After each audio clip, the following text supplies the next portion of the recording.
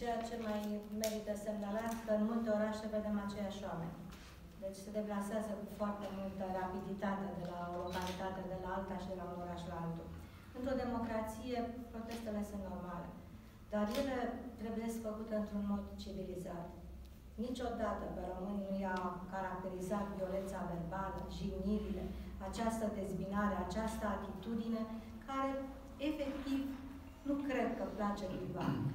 M-am întâlnit și când am intrat în spital cu unul dintre cei care contesta guvernarea și l-am rugat să-mi spună efectiv ce îl deranjează. Pentru că Guvernul României este dispus la dialog.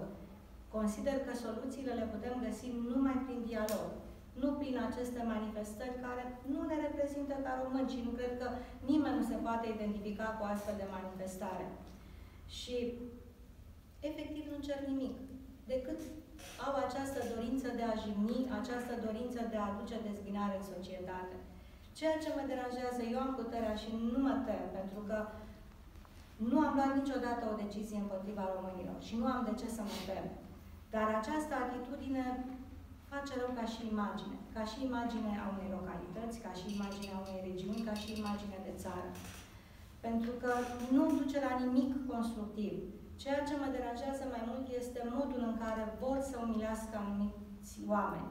Am văzut cum aruncau cu bani pe jos la bătrâni ca să-i umilească. Acest lucru chiar deranjează. Și acest lucru nu trebuie să se mai întâmple în România.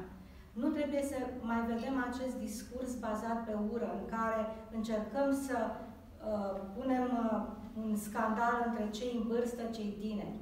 Eu cred că este loc pentru toată lumea și că principalul nostru mesaj trebuie să fie de unitate. Nu spun că Guvernul României a, a rezolvat tot. Mai sunt multe de făcut și multe de rezolvat. Dar în momentul în care nu ai argumente, în momentul în care ești rău intenționat, în momentul în care ești un om slab, când atributul oamenilor slabi este violența verbală și violența fizică, te manifesti în modul acesta. Dacă nu aveam deschidere către dialog, dacă nu vroiam să găsim soluții, îi înțelegeam și spuneam, domnule, nimeni nu vrea să discute cu ei.